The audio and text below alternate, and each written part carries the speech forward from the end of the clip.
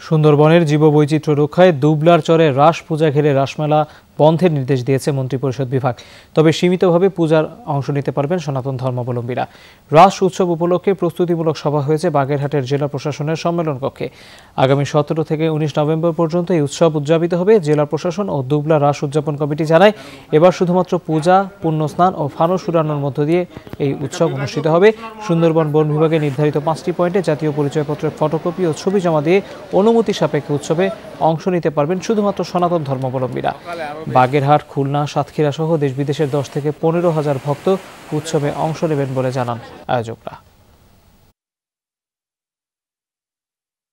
শুধুমাত্র সনাতন ধর্মাবলম্বী যাবে, প্রত্যেক ভোটার পুণ্যার্থী বা পুণ্যস্নানা যারা যাবে, তাদের ভোটার আইডি কার্ড এবং ভোটার আইডি কার্ডের ফটোকপি সাথে নিতে হবে। পুজোর স্থানে মাত্র মাত্র আট দশটা দোকান উপস্থিত থাকবে।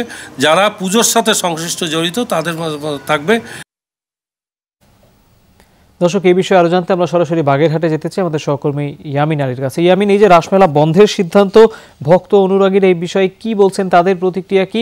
আর সার্বিক উৎসবের যে প্রস্তুতি, সেটিও নিশ্চয়ই এবার কিছুটা বদলাচ্ছে। সেই পরিবর্তনগুলো সম্পর্কেও জানতে চাই।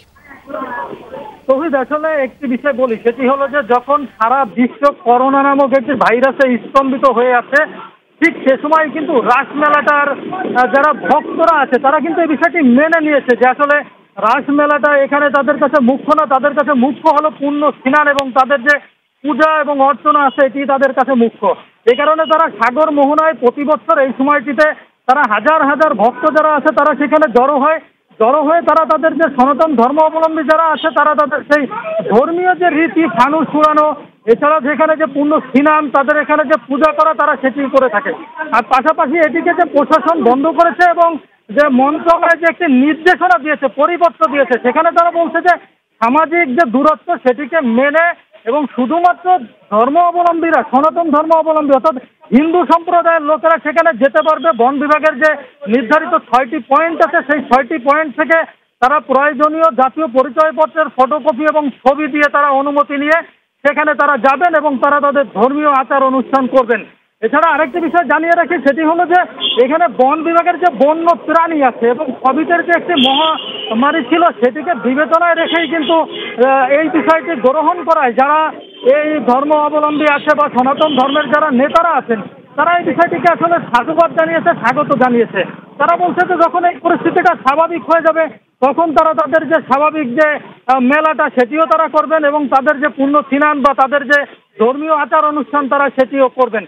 এটা নিয়ে তাদের ভিতরে যে কোনো ধরনের মিশ্র প্রতিক্রিয়া বা ক্ষোভ, এটা আমরা আসলে পরিলক্ষিত আমাদের কাছে হয়নি।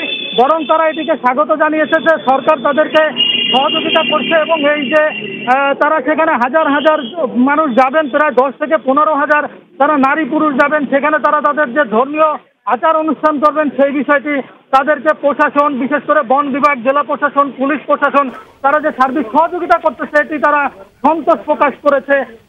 এই তার যিনি সাধারণ সম্পাদক আছে, প্রদীপ বসু সন্তু, আমাকে এটি জানিয়েছেন। তৌহিদ, এই ছিল এখানকার সার্বিক অবস্থা। ইয়ামিন, অনেক ধন্যবাদ আপনাকে। দর্শক, আমরা জানছিলাম বাগেরহাট থেকে সেখানে রাসমেলা উদযাপন এবার হবে না, সেই বিষয়ে বিস্তারিত জানাচ্ছিলেন আমাদের সহকর্মী।